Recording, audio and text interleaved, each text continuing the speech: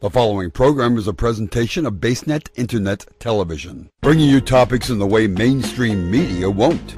BaseNet Internet Television presents As We See It with Fred Boaz and friends. In Los Angeles, I'm Gene White. And now, to our studios in Boston. Thank you, Gene, and hello again, everybody, and welcome to another exciting adventure of As We See It, being recorded on Sunday, April 29th, 2012. This is show number 40, the Big 4-0. In Boston, I'm Ed Jupin, and out in the Pocono Mountains of Pennsylvania, we have Fred Boaz in St. Louis, Missouri, where they just had some pretty nasty weather. We have Holly Hurley. Out in Los Angeles, Gene White and also in the Boston area, Larry the Lobster. So how's everybody doing this week? Doing great, Ed. Doing, No yep, complaints good. here. Live through the storm. Right, yeah, we'll get to that in a minute. I guess that might be our lead story here after we uh, discuss some lobster tails. Larry, what do we have for lobster tails this week? First lobster tail is a company in Taiwan makes dinner plates out of wheat so you can eat your plate. Number two, tablecloths were meant to be used as towels with which dinner guests could wipe their hands and faces after eating. Number three, the world's oldest piece of chewing gum is over 9,000 years old. Number four, tourists visiting Iceland should know that tipping at a restaurant is insulting. Well, I'll make a quick comment on two of them. The first on number two, the tablecloth. I tell you what, I'll take all of you guys out to a very high class five star restaurant, but then we're all going to have to wipe our faces into the tablecloth and see if we get thrown out or not. Well, you know when when you go to Somalian places, just No, he said this he- is- he said that the original use was. It doesn't mean it's used now. you know what? It makes so much more sense. I hate when things aren't functional. That's like having like what are those bed skirts? Like that's not functional. You know, yeah, what's the should- use of it? Exactly. I think a tablecloth should be used to wipe your face. Why do we need a long tablecloth and then a separate napkin, which inevitably falls on the floor? Tablecloth actually makes a lot more sense. It stays on the table and you can lay it in your lap and it hits between you and your plate.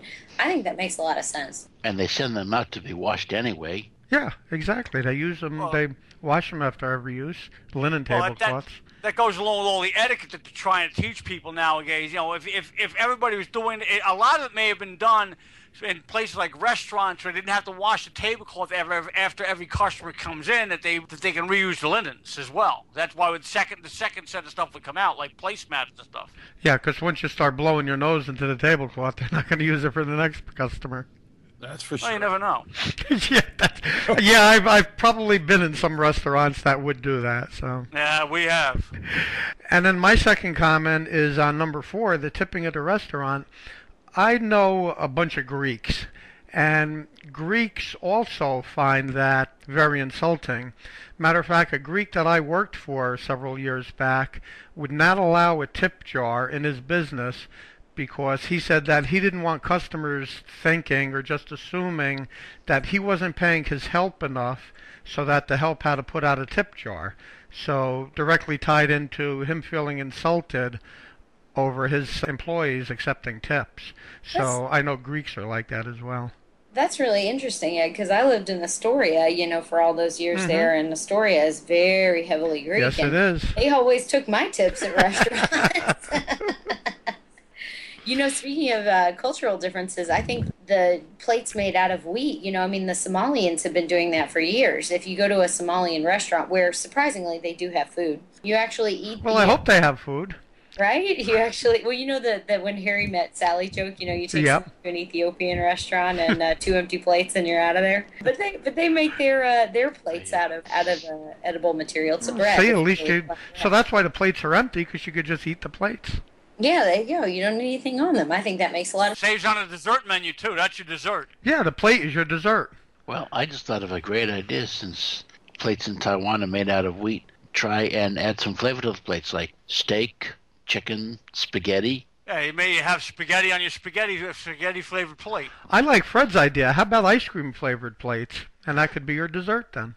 There you Yeah. go. Or I got good. a, I got a better idea since we were talking about Greeks anyway. Baklava flavored plates, and there you go, and you have your baklava after your dinner. Excellent. Yes. Baklava is Greek. I thought it was Arabic. No, big Greek dessert. I think pretty much anything, uh, anywhere. Uh, Yeah, that Middle Eastern area.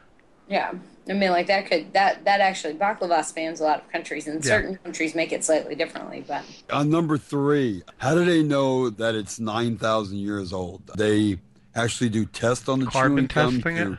Yeah, to determine that.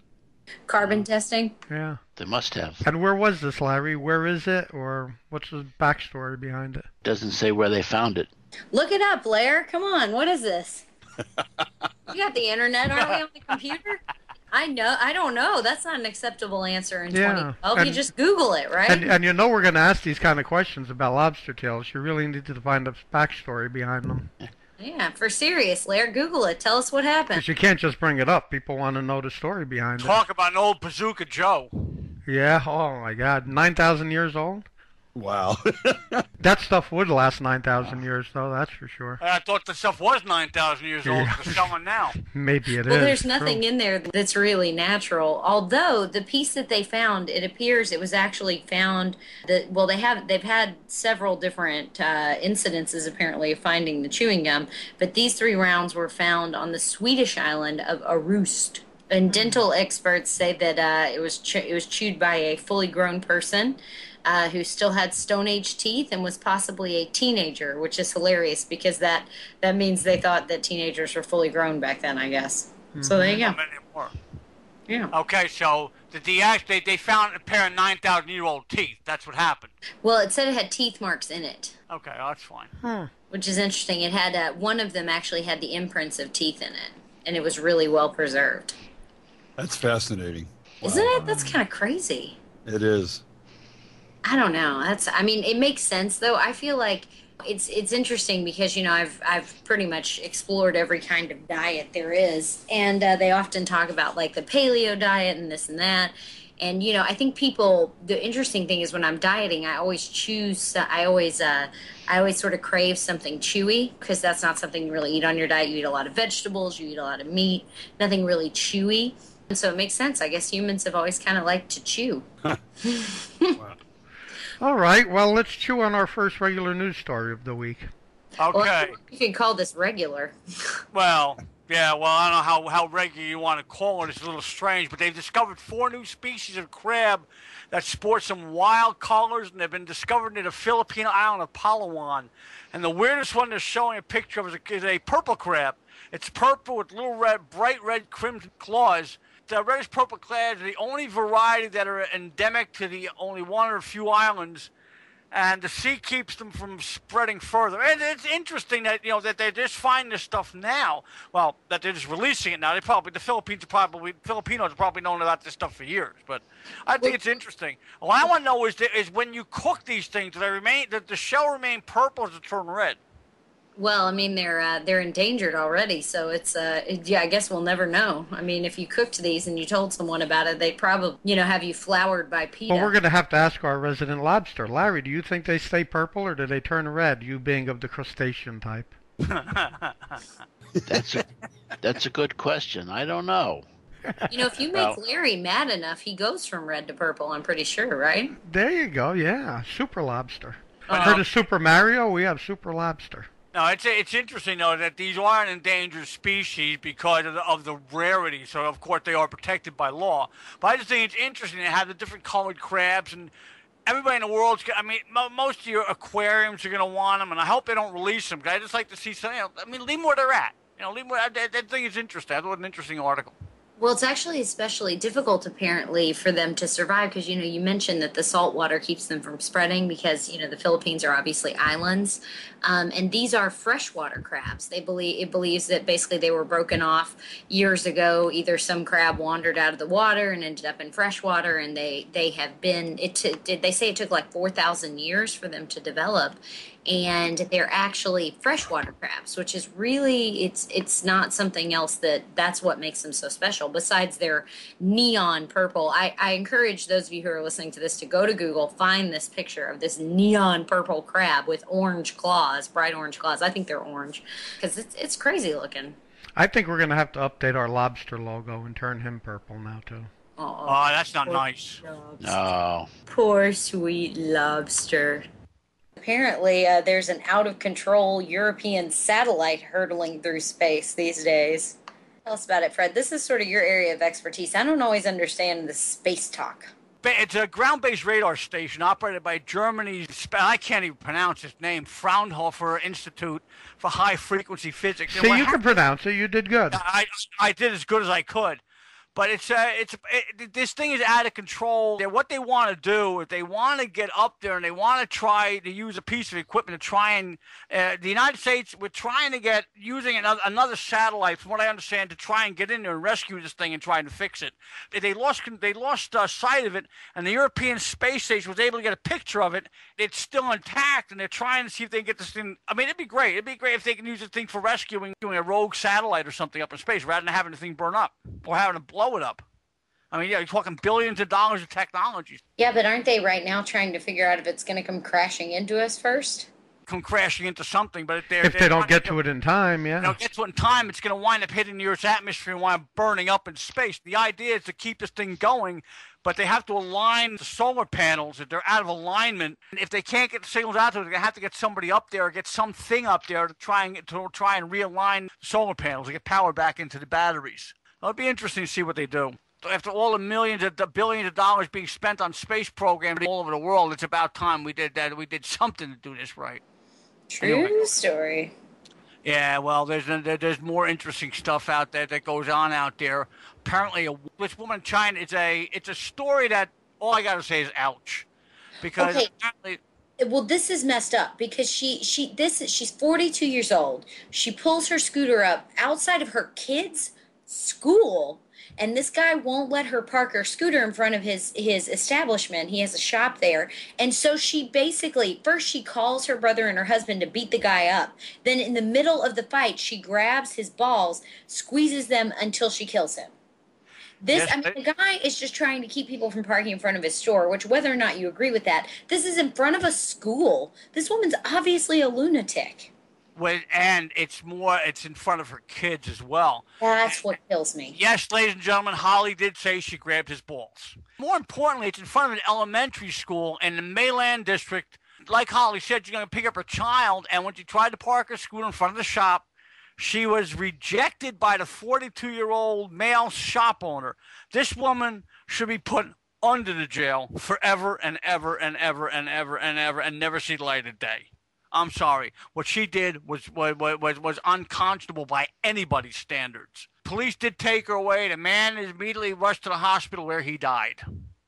What do you call it? First degree murder or what? Yeah, yeah. Well, I mean, you know, you can't call it first degree, right? Because there was no premeditation. She obviously just went crazy and then did this. Although the fact that she called her uh, brother and her her whoever the other guy was, I can't even remember, her husband to come and fight this guy. I don't know. I, they may be able to make a case for it, but that's that's messed up.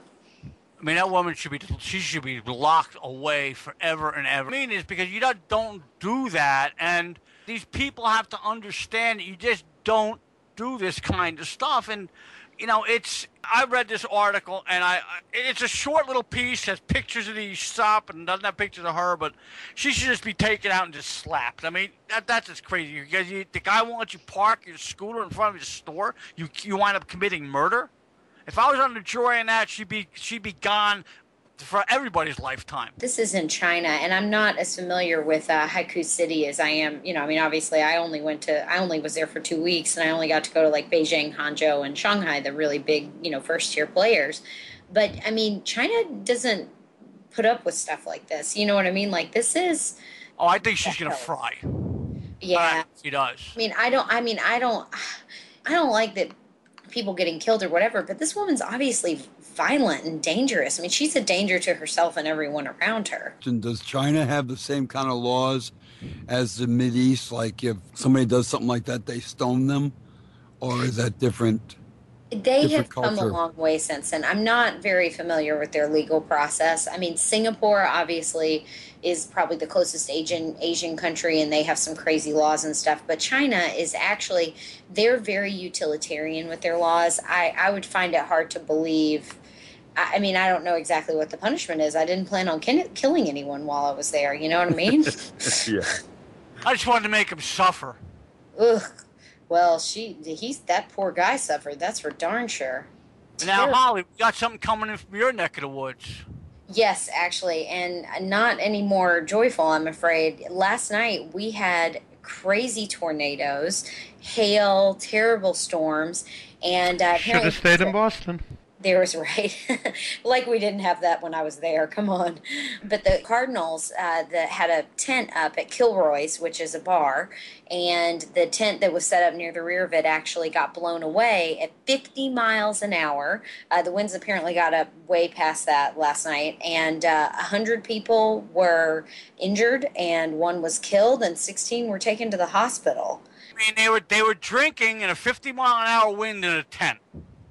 It says there were a hun- there. It says up to 150 fans may have been under the tent at the time, which I just think is crazy because we heard the sirens here. Everyone I knew was in their basement. Even people who lived in apartments in U City were in their basement. Uh, U City's University City. It's over by school. Obviously, you know every town kind of has that area. It's like Allston in Boston. You know, I mean, even people who were in their uh, apartment buildings ended up in their basement. So I, I just think it's crazy that these people were out in a tent. And eventually the tent actually got stuck on a railroad trestle, which there's a photo of it blowing over the railroad tracks. And you're just thinking, this is idiotic. Somebody take that shit down. Pardon my language. Well, somebody slapped these people for, having to be out there drinking during a, thor- a thunderstorm. There's no way that they didn't know the storm was coming. Yet they still went in there. They still had to go in, still had to drink, still had to get drunk, and somebody got killed. And you know they're be lawsuits against the law, uh, against the St. Louis Cardinals for it. Well, the tent had been had received a city permit, and of course, everyone knew that there were thunderstorms. And thunderstorms are one thing. I mean, the day before the half marathon, the Go marathon that John and I ran, we did the half. We did not do the full this time. There was a 5K the day before, and you know everybody came out, and it's just you know weather's unpredictable. You don't know if it may miss you by a few feet or something. But this, so people knew there were going to be thunderstorms, but the tornadoes, I think, were a surprise and it was i mean it was widespread it was it was penetrating it was, a lot of tornadoes it was kind of a mess. But I, I, I understand why the tent was there i understand that people thought that they could drink i don't understand why when the sirens went off they stayed in the tent that's what i don't understand and of course there's an investigation pending so we can update at that Well, time there's going to be, an, there better be an investigation pending because I mean, there, there people, especially when they're involved with alcohol and drinking. I have nothing against drinking. We've all drunk. We've all had our drinks. They're going to sit there and risk their lives for a few beers. I mean, this goes on all the time at, at, at any kind, sporting events, parties.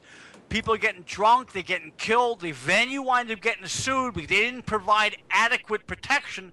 You know, there gets to be a point. Well, look at look say- at a year ago. That's it. I believe Holly. It was in Texas where uh, the country band Sugarland was about to go on stage for a concert, and a tornado or a huge thunderstorm went through, and it knocked down the stage and all. And again, at least one person, if not more, got killed and all. And everybody is being named in a lawsuit in that, as well as the uh, band Sugarland. which of you know. course they could have had nothing they No, could- absolutely. But you know, that's how lawsuits go. You just name everybody that was involved that day. But so that just comes to mind. That took place only about a year ago. yeah i had i had totally forgotten about that Yeah, the difference is though that, that that was a stage. It wasn't. A, it wasn't a tent. And people, these people, even if you're in a tent, you're still basically outside.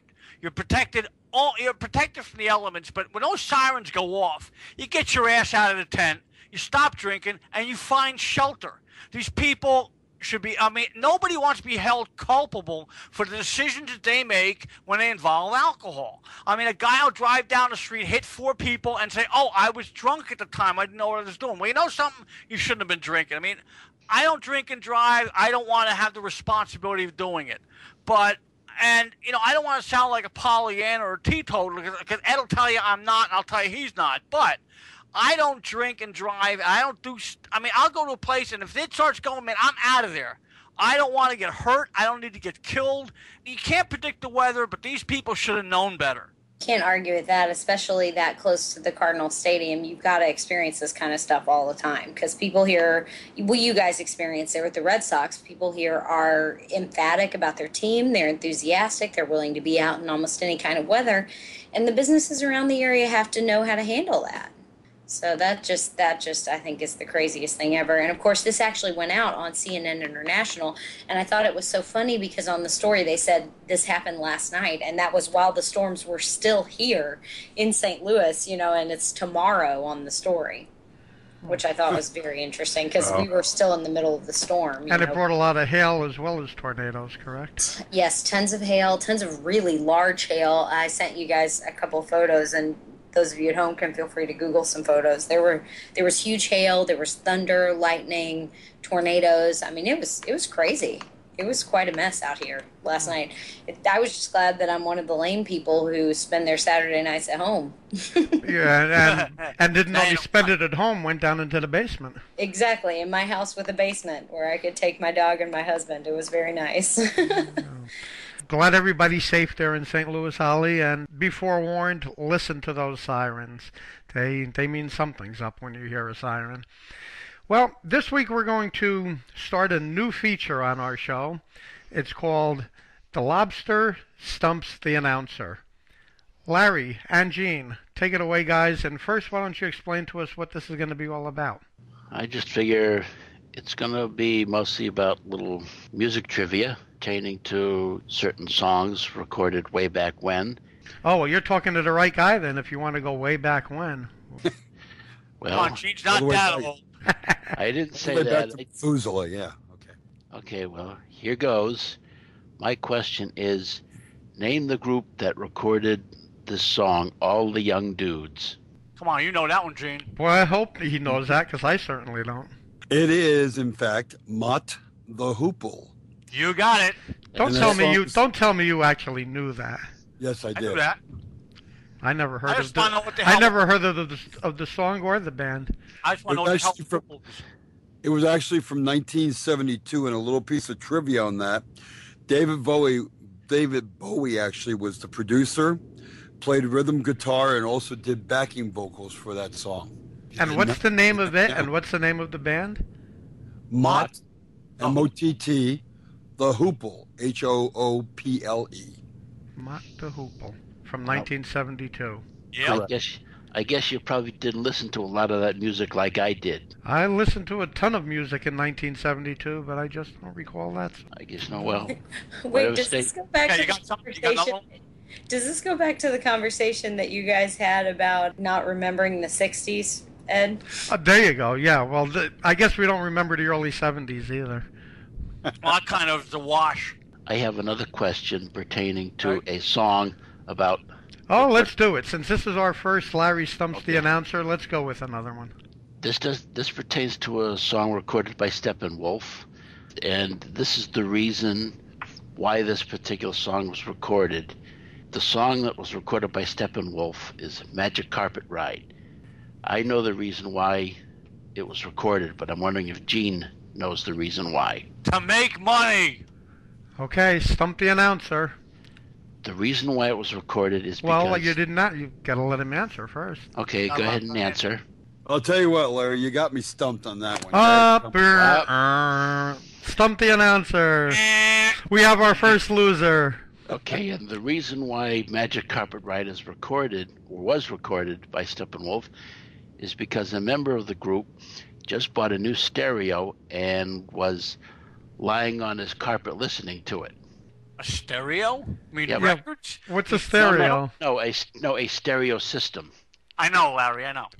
If there are any kids listening, they're not, not they're not going to have any idea what that even is. Yeah, stereo. What's a stereo? And if you remember uh, Jersey City, Peter Noone, this is what CDs looked like in the '60s. Yep, that's right. Yeah, Why don't Why don't you? Oh, CDs. Everything No, was the kids and don't know what CDs look like. All they buy is MP3s. That's CDs true. Yeah, kids school. now don't even know what CDs look like. Exactly. That's like well, you might as well ask them if they remember the boombox. Ask people, well, vinyl's coming back. Vinyl? What the hell's vinyl? All right, so Gene, uh, who was our new segment featured by this week? Lobster Stumps the Announcer is brought to you by GMM Radio, playing the best songs ever recorded from the 50s, 60s, 70s, and early 80s, heard on Live 365. Tune in.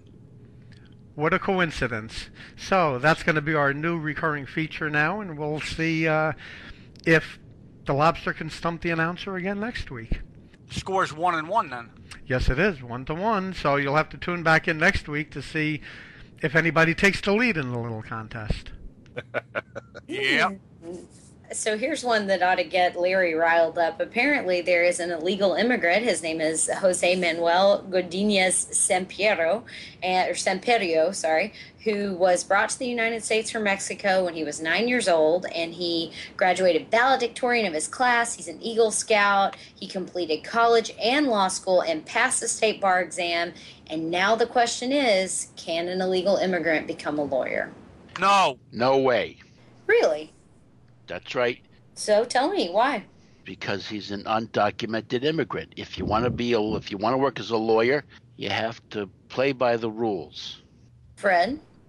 Well, no. My my thing is this, and I understand that he had no choice in coming here with his parents from uh, nine years old. But during the time he went to high school, went to college, went to law school, took the bar exam, he never took the time to bother to spend the time to go for his citizenship. That's not Now- true. He tried multiple times. He's still trying to get his citizenship. That's a big part of this case. Well, his, his ca- uh, as far as I'm concerned, Then I no- think it should be predicated on that. You It should be. you could pass the bar and whatnot, and they could say, okay, well, you know, yes, you'll you'll be admitted to the bar once you're a U.S. citizen. And that's fair because otherwise, again, it goes back to rewarding to rewarding Ill, uh, an illegal act. Now, he didn't commit it himself. I understand that. He was brought here at nine years old. Yeah, and that's why I agree with uh, not stopping him from joining the bar. It admit him, you know, or um, basically like a um, conditional. conditional. You know, say yes, okay, you know, you passed your test, you did your schooling, you're accepted into the bar, but you can't practice law. That would like be the best way to describe it. Then you can't practice law until you become a citizen. and that and and that's fair because you got to remember. And I tried to tried to get this through to some of the people I know.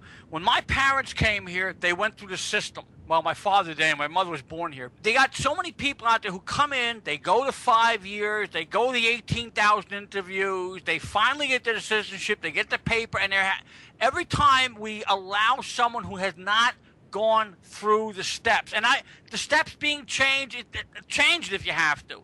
But when you do this, you're rewarding someone for breaking the law, and it's a slap in the face to all the immigrants that took the time to do it. Now, you know, he doesn't even have a green card as a foreign alien, as a resident alien to prac- to have a business license in this country. I mean, he's here illegally, and whether you use the word undocumented alien, it's still illegal. And whether you're Mexican, whether you're African American, whether you're Kenyan, doesn't matter. If you're here illegally, you should not be given the the, the same rewards as someone who's playing by the rules as, Okay. as, as someone you know did it. Listen, listen, you guys, I understand where you're coming from with this, but here's the problem. He went all the way through high school, was a valedictorian. He went through the Boy Scouts, became an Eagle Scout. He was allowed into and to graduate college. They should have caught this sooner, first of all. All the documents were there. He's been trying to get citizenship. Listen, if you're going to let a kid become valedictorian of his college eh, or valedictorian of his high school, go to college, go to law school, and take the bar exam, then you should allow him to become a lawyer. well, what, what's the what's the hang up with his citizenship then? Yeah, that's what I'm wondering. That's what the- because the- obviously he's obviously and I'm going to call him a kid. I don't even know how old he is, but obviously this kid is bright and intelligent Yeah. since he's gone through all of this being valedictorian and he's gone to gone to and graduated from law school. All right, so he's not an ignoramus. This kid's intelligent. So where's the hang up then on him getting his citizenship? The the the test is hang-up- not that difficult. The hang up may be with INS and their rules because his and it may be and I don't again I don't know so I'm I'm kind of guessing here but it might be because his parents are here illegally that they're not allowing him to have citizenship retroactive which I think is wrong. Right. Well, but I mean, if again, yeah. walks in and says- you know, if he walks in and says, "Look, I'm here. I've been here since I've been nine years old," and and is willing to spend the time and go- So streamline you just you just hit the nail on the head, though. He's been here since he was nine years old. I and it think wasn't his fault. no, but I He's think I think 35. un- that's 26 years they've let him Yeah. go. They've let him go with I this. think if you're going to let him stay here for 26 years, just give the kid a citizenship already. Either deport him You or don't give no, you don't give Yeah. You don't anybody give. anything. I think, unfortunately, the big problem is that he wasn't born here. Obviously, and we've talked about this on As We See It before, even if his parents came here illegally and then he was born here, he's automatically a citizen here. He was not born here. He was brought here illegally by his parents. I'm I'm willing to guess that that's where the hangup is. You know, he wasn't born here. He was born in another country and came here illegally. So I'm sure that's where this is being hung up. It would seem like the common sense thing to me that that's where the problem is. there need to be provisions made for certain things. I mean, again, the kid is not an ignoramus, like you said. He bid pass and all this, and so he is a valued member of society. The problem is, and it may be an INS hang-up with, again, going back to his parents. Now, do we, you know, do we boot everybody out and say, okay, fine, you guys got to come back in? My thing would be, all right, the kid wants citizenship. He wants to practice law, So you f- and, and let this kid in, in you fast way- track it. Uh, you know there there are get him the citizenship Yeah. as quickly as possible. Don't keep turning the kid down. Right. There's extenuating circumstances to every case, and this case obviously has a bunch of extenuating circumstances. The whoever is his local senator or congressman or something should be fast tracking this case to get him his citizenship Yeah, as soon as however, possible. does, that No. also creates a problem though with other people that are in the same position that may not be this kid. So it's got to be done case by case, and cannot just say, "Well, it, it's going to happen for everyone." If you can show certain things, okay, fine. But you got kids like like we said that are born here that are granted American citizenship automatically, which may or may not be a good thing. Once they're here, you know, what do you do with these kids? It's almost the same thing, and you know, you can't just grant everybody citizenship. You can't just streamline everybody. But what you do is you, ta- you take it case by case. Okay, maybe you t- you tell the parents, okay, fine, you're going to pay a fine of whatever it is, but we're going to give you a kid the citizenship, and, and let it go with that. Well, well, and here here's the thing is that you know being in business school we have at our business school over 30% internationals and these kids have a much harder time finding jobs and when they do find jobs they have to find someone who'll sponsor them here in the united states but that happens every day for for people who we consider specially skilled gifted valuable to the country. I think this kid has proven that a hundred times over. Like get, give him what he needs to work here because he's grown up here he doesn't know anything That's else. Why I'm saying in his No, no. particular case this should be fast tracked. I don't know Yeah. what the problem is. No, Well, Gene, what were you going to say? basically going to say the same thing. I mean, the kid, as it's been reiterated a couple of times, right? He's not stupid. He's very smart, very intelligent. Been here since he was nine years old. Yeah, been here since he was nine years old. I mean, he's proven himself in a in a in a, in a way that is valuable to what he does. So they should just let him do his citizenship and let him go on with his life. See, the I idea is this: you don't want to give anybody anything. You don't want to see the problem we have. Part of the problem we're having with our immigration system is we give our citizenship away like it's candy.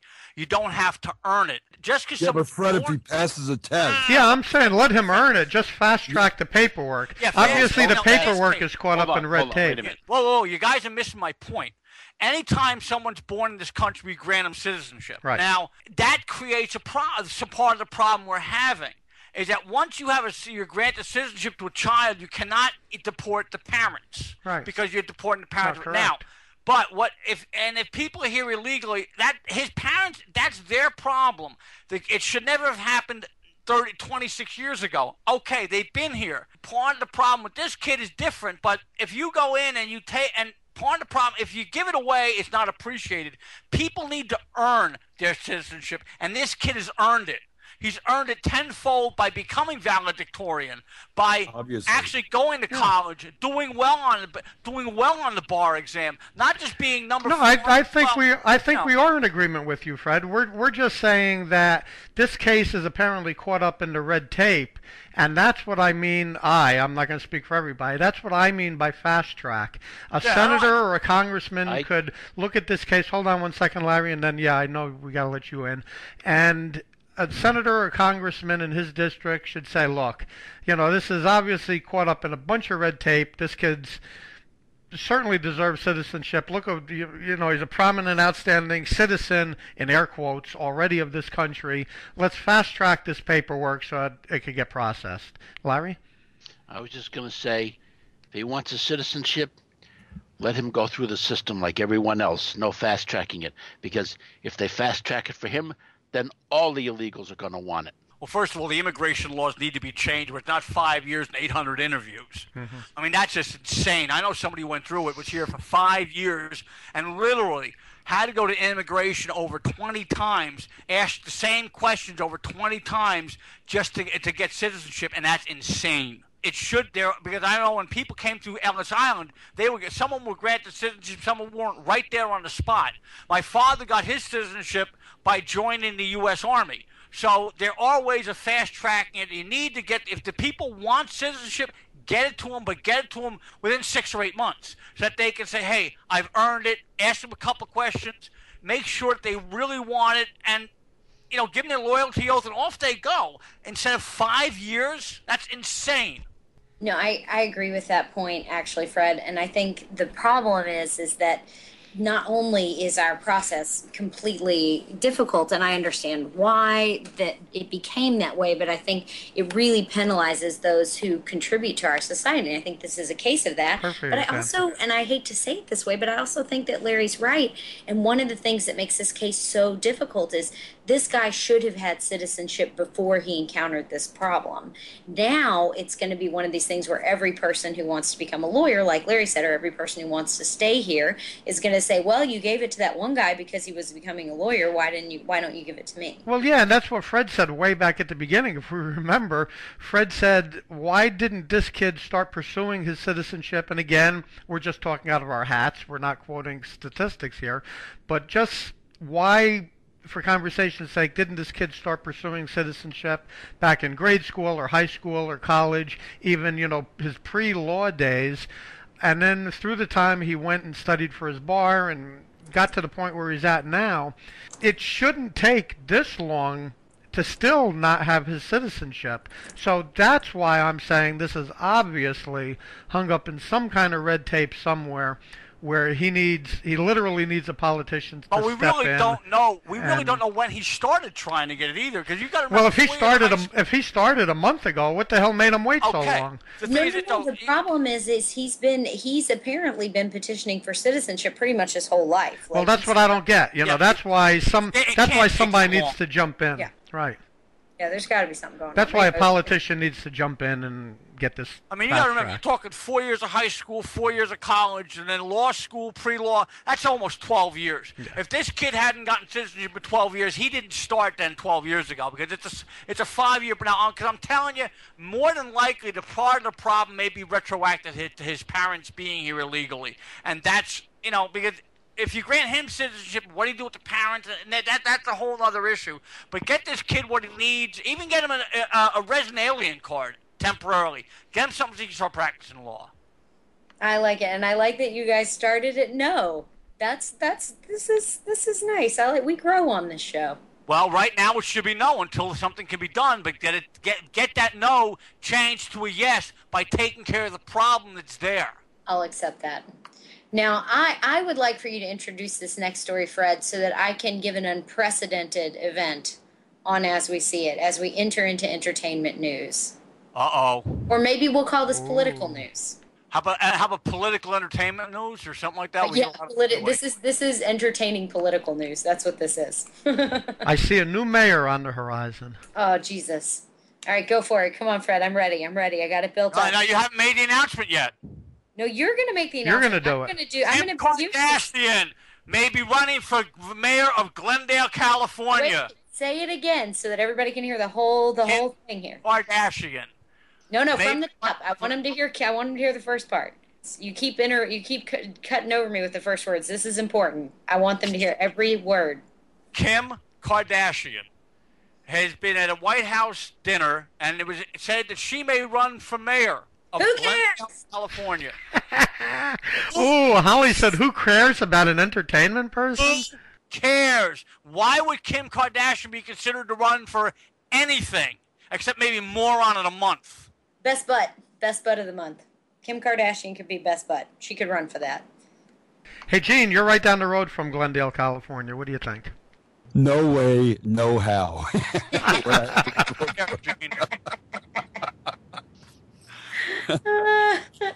I'll tell you what, I would have voted for Mary, whatever her name was. She was a porn star that was running for governor of California. I would have voted for her first before I vote for Kim Kardashian. Please. because she got paid for her sex tape.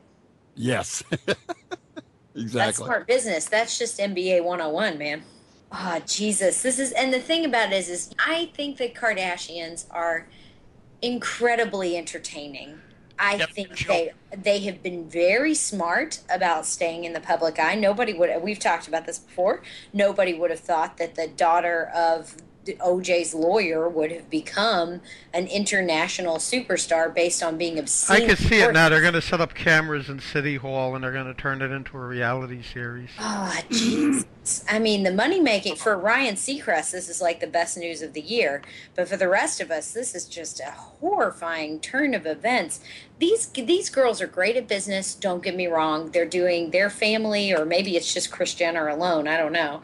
Is doing a great job at staying in the public eye. Maybe it's because Seacrest is a genius. I don't know. They have nothing else to do but stay in a family eye. They have no life other than that. Right, but you know they don't have to.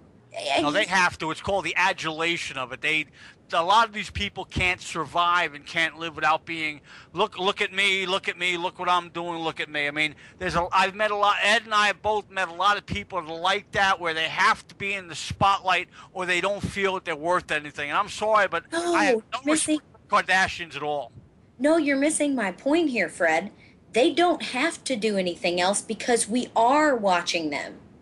Maybe Not- it's what they need, all but they don't have to do anything else because America and the rest of the world are watching them. We stop watching, they stop mattering. Exactly. We boycott them, and it, it's more effective that way. I don't know. I don't watch them, and they're not disappearing. I don't watch them, and they're still bothering me. Yes, Ed, and I mean, I'm sorry, guys.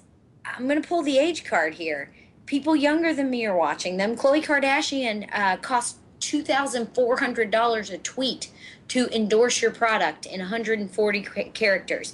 These people are making tons of money doing, as you said, Fred, what they'd be doing anyway because of their personalities. Hell, I'll endorse your product ten bucks if it goes to BaseNet. That's right. You can endorse your product for for less than ten dollars on BaseNet. Tell us what you want. Give us some money. We'll we'll talk about you on the show. And we hit almost as many people as Khloe Kardashian hits per tweet. There you go. Oh, this is just terrifying. That, It- ladies and gentlemen, is known as a shameless plug. yeah, I don't even I don't even know where to go from here. I don't How know. about I mean, I more entertainment news? Well, the rest of our entertainment news is all really sad. We've only got we got a couple of obits this week. I mean, I'm sure other things happened in entertainment news. And Gene gets to do the first one. A couple of days ago, we lost Peter Pete Fornatale. He was a uh, New York City disc jockey, considered a pioneer of FM radio and rock, actually, who played an important role in progressive rock and also FM broadcasting. He broadcasted uh, progressive rock and long album tracks, which was kind of unheard of. And he was noted for introducing a musical alternative to top 40 AM radio in New York in the late 1960s and early 70s. He was actually the first American to interview Elton John out of all the things that he's done with his life. And I guess he's going to be sorely missed. I mean, he was one of the pioneer uh, broadcasters that I remember listening to as a kid and kind of wanted to be a broadcaster because of him, Don Imus, all those guys. Yes, sad. You Scott better Pilgrim, miss- Pat St. John. You better mention Dick Summer. Of course. Dick Summer, Scott Muni. Cousin Brucey. Let's not forget Cousin Brucey. All mean, those guys. And, and Pete was mostly in the, in the heyday of his career on WNEW, correct? Correct. Yeah. 1027. Yeah. And I remember Pete though playing. Uh, he used to play what people don't realize when he was playing the singles. He very rarely played the top 40. He always played the flip sides. And they didn't have playlists, right, Fred? Uh, Gene? No, they didn't have playlists back then. No. Pete always played, and he would always explain a lot about the history of the song he played, and a lot like what Gene was doing today with the uh, stuff. And it, it, it, it was always a pleasure to listen to Pete. He'll always be remembered. Him, Scott Muni, Pat St. John, the whole crew over there. Yeah, they're all gone now. That They sure are. shows you how dated we are. Well, I mean, I don't want to date myself, but I guess we could move on to the second obit of the week. Chris Etheridge from the Flying Burritos, the Flying Burrito Brothers. Now, of course, you know, I know of Chris Etheridge because I'm a big Willie Nelson fan, and he toured with Willie Nelson. Uh, and if you've ever heard Whiskey River, I mean, it's one of the best recorded tunes out there. He was 65 and he had some complications from pancreatic cancer. People who are familiar with the Burritos know they were a country rock uh, band co founded with Gram Parsons, and they were you know, known for their 1969 album, The Gilded Palace of Sin, and they were very. He he actually left the band before their next album, Burrito Deluxe, but they were very popular in the same around the same time period as Willie Nelson, Waylon Jennings, basically all the big all the big guys in that genre. Johnny Cash can be included in there if you like that sort of thing, and so uh, so this is this is a pretty devastating week for uh, entertainment deaths, I would say.